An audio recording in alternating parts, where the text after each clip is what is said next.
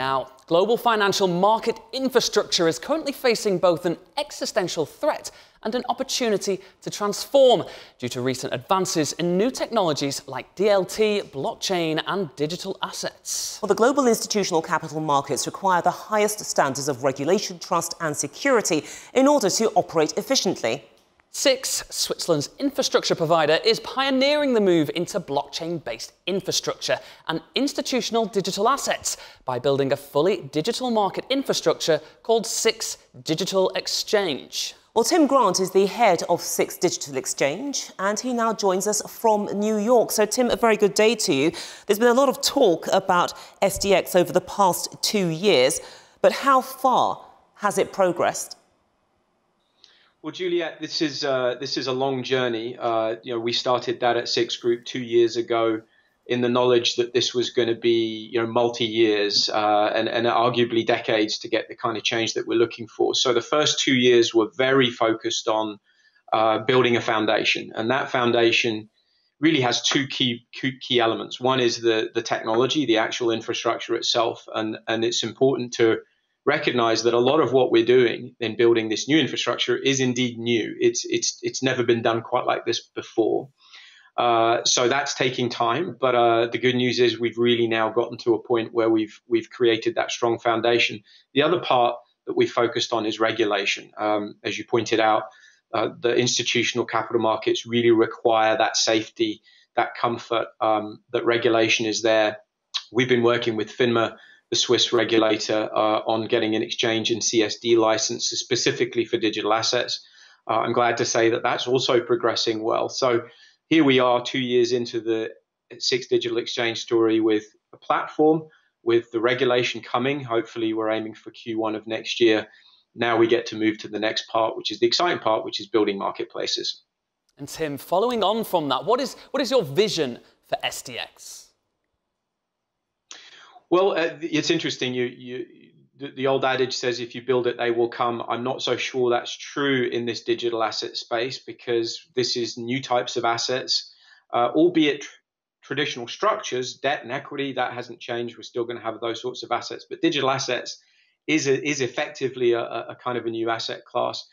Um, and so, what we really need to do is is create a global liquidity pool. That's our vision, um, and that's was set out from our board of directors uh, going back to our beginnings two years ago, can we ultimately create global digital market infrastructure that connects not just Switzerland but other jurisdictions? Another our new home turf is now Spain. We've just bought the BME in 2020, uh, so we can anticipate that we might operate there. But we need to look beyond that to Asia, to North America, and, and the rest of Europe. So for us, it's it's not just creating one marketplace; it's it's global liquidity uh, that really is going to give the institutions what they're looking for.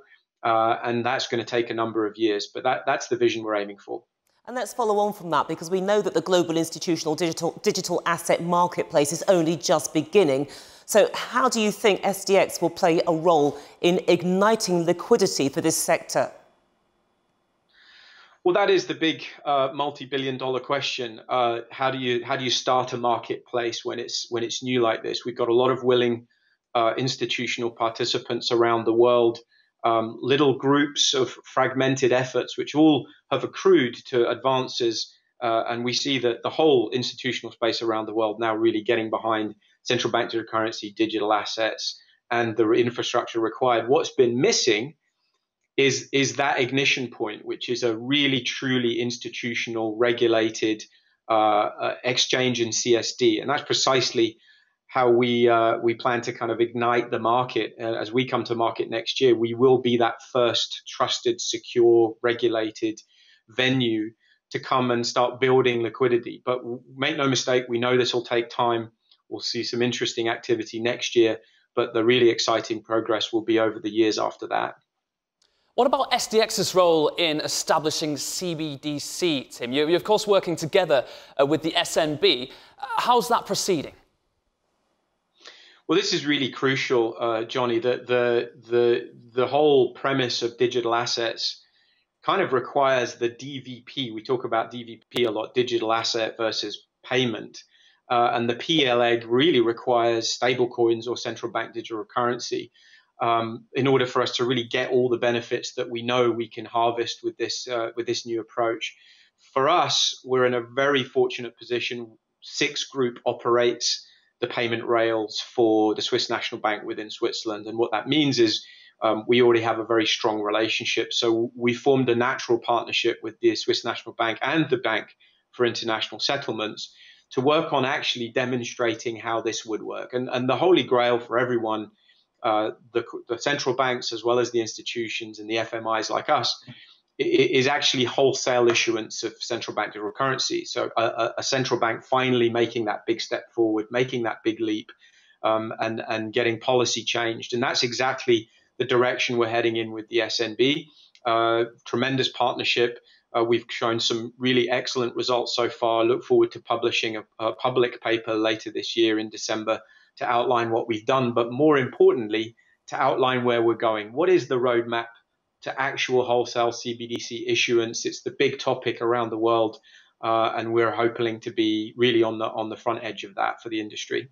Well, that leads to the next question, really, because we know that SDX is partnering with the likes of Visa, Microsoft, and other companies. And obviously, the objective is to drive the adoption of standards. But given that, what vision do you have for the ecosystem of tomorrow? And how will these different alliances fit together in that concept? So I think there's there's two elements, Juliet, on that one. One one is uh, we're all trying to uh, make sure we get to adopt standards sooner rather than later because we all know that's what allows us to really move faster. Um, the problem is no good standards were ever put together by people sitting around a table talking about it. You actually have to get out there and, and, and really start engaging in the marketplace. Um, so standards important, and, and SIX Digital Exchange and SIX have been uh, very early to support the uh, Interwork Alliance, which is a new organization which we set up uh, in the last couple of months, where we want to invite all institutions, whether it be financial and non-financial, to come together and actually, uh, in a non-denominational way, really agree on and, and start using standards. So that's the first piece of the puzzle is standards. The second piece of the puzzle is, and you mentioned Microsoft as a great example you know, we need to think as financial services uh, uh, infrastructure providers uh, beyond just our own borders. We need to think beyond the silos that have been created until now. And that means looking beyond jurisdictions. It means looking beyond you know, business and technology divides, which still unfortunately are a lot there. But it also means looking across industries. So it's really important that we think about technology companies like Microsoft and IBM. We think about uh, manufacturers around the world who also are going to start to engage in this new infrastructure in a different way. And we, we really, that, that level of partnership is going to create a new ecosystem. We don't know what that ecosystem is going to look like. Nobody has a crystal ball. But the one thing we know is we have to partner across the board and across different industries to get there. Uh, and that's very much what we're, we're driving towards as well. Okay, and it's a fascinating journey, but Tim Grant, we'll have to leave it there. But thank you so much for, for joining us and enjoy the rest of Sibos Week.